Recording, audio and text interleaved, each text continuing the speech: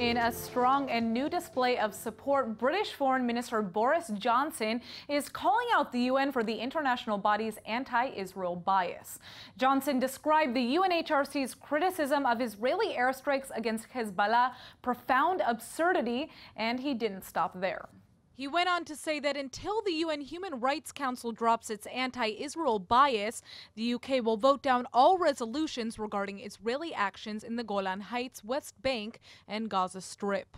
Last week, the UN adopted a resolution condemning alleged Israeli human rights abuses in the Golan Heights. But the same council made no mention of the bloody Syrian civil war next door that's killed over 470,000 people and has left millions homeless. Johnson went on to say that while he supports the two state solution, he opposes boycotting Israeli goods made in the West Bank and the Golan Heights.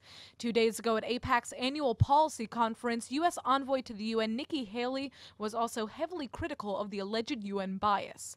She stated that you're not going to take our number one Democratic friend in the Middle East and beat up on them.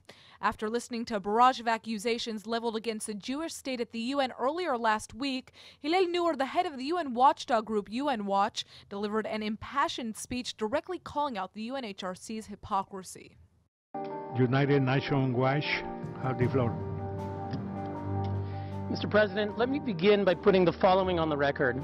Everything we just heard from the world's worst abusers of human rights, of women's rights, of freedom of religion, of the press, of assembly, of speech, is absolutely false and indeed Orwellian.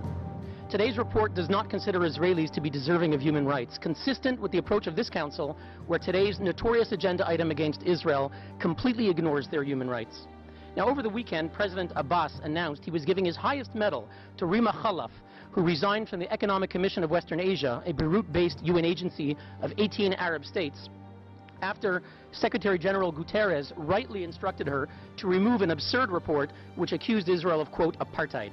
Mr. President, why is Mr. Abbas celebrating a report written by the notorious Richard Falk after his own Palestinian mission here tried in 2010 to remove Mr. Falk on the basis that he was, quote, a partisan of Hamas, as we know from WikiLeaks.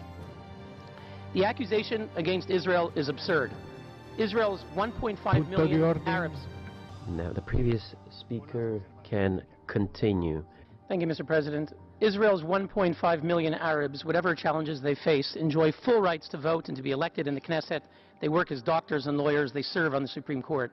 Now, I'd like to ask the members of that commission that commissioned that report, the Arab states from which we just heard, Egypt, Iraq, and the others, how many Jews live in your countries? How many Jews lived in Egypt, Iraq, Jordan, Kuwait, Lebanon, Libya, Morocco? Once upon a time, the Middle East was full of Jews. Algeria had 140,000 Jews. Algeria, where are your Jews?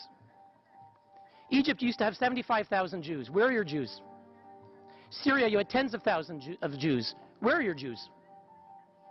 Iraq, you had over 135,000 Jews. Where are your Jews? Mr. President, where is the real apartheid? Why is there a UN commission on the Middle East that does not include Israel? From the 1960s and the 70s, they refused to include Israel. Where is the apartheid, Mr. President? Mr. President, why are we meeting today on an agenda item singling out only one state, the Jewish state, for targeting? Where is the apartheid?